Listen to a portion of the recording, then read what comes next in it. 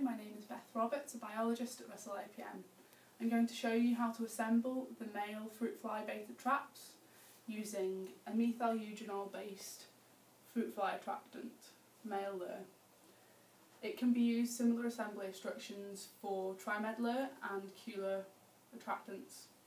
Firstly, you place a solid pheromone dispenser inside the green cage and the green cage is affixed the inside of the clear plastic top of the trap.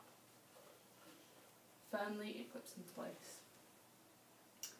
Then you place a DDVP trapping strip to the inside of the bright yellow base of the trap and attach the two parts of the trap together with one firm twist hang from the tree.